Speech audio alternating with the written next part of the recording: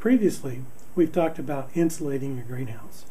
But there's one other thing we can do to help in being able to use our greenhouse during the winter, and that's to try to take advantage of the heat that builds up during the day, somehow hold on to that heat, store that heat to be released later on uh, at night to help heat our greenhouse. And when we're talking about that in the context of a greenhouse, we you'll usually hear the terms heat sinks. We're talking about you know heat sinks, and all that is is something that's going to store heat to be released later on.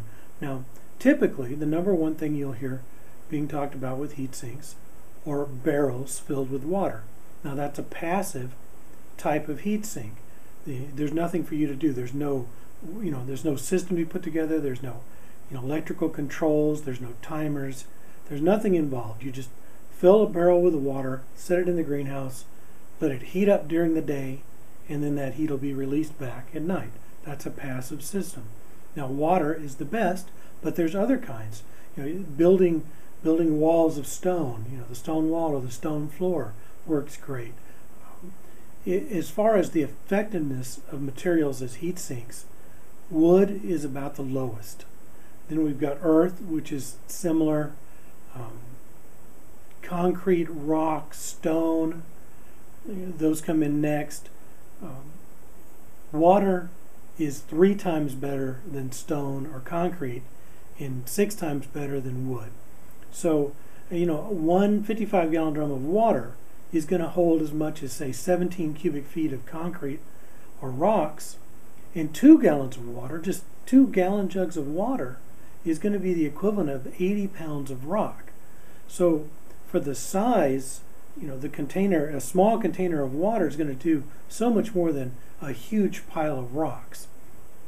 You know, even though you know water is a great heat sink, and even though we could line the entire north wall of our of our greenhouse, if the sun's if this is south and the sun's coming in, the entire north wall is lined with water barrels.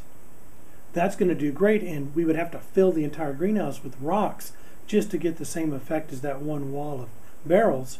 However, if you're in a cold climate, you would almost need to fill the entire greenhouse with barrels just to be able to keep it, you know, heated and usable. And of course, then there would be, you know, no room for your plants. So we're not trying to get a complete solution with these barrels, but we're trying to, to get enough to take the edge off, enough to, to make a big enough difference that you can then afford to use a small electric heater or a small propane heater, not spend a ton of money heating by using the you know the passive heat, the passive solar collection, the heat sinks in your greenhouse. Now, you don't just have to have barrels along the wall. You know, there's other ways you could do it. I mean, barrels are still the best, but let's say, for example, you have some shelves that you work with. Well, instead of building legs, or instead of just having the legs holding up those shelves, why don't we, you know, put barrels underneath there? You know, have the barrels hold up your shelves, or at least fit under those shelves. Typically, you will always want at least the southern facing parts of the barrels to be painted black. That way they're going to be able to absorb as much as possible. If you're using reflective uh, coating, say we've, we've, like we talked about with insulating, if you've used the foam insulation along the north wall and we've used the kind with the reflector on it, well now we could go ahead and paint the entire barrels black. You, you lose a little bit of the white and the reflector, you know, bouncing around in the greenhouse, but you get a little bit more bang for the buck as far as is heating that water. When you try to figure out, you know, how much you know you're going to need, basically there's a rule of thumb, depending on where you're at. I mean, it depends on where you're at in the U.S., but between two gallons of water to five gallons of water for the exposed surface area of your glazing. Now, if we've insulated with a bubble wrap and two inch insulation all along the north wall and maybe halfway up that the, the roof on the north side, maybe even did the northern portions of our east and our west end walls, we've got less that we have to put into the equation.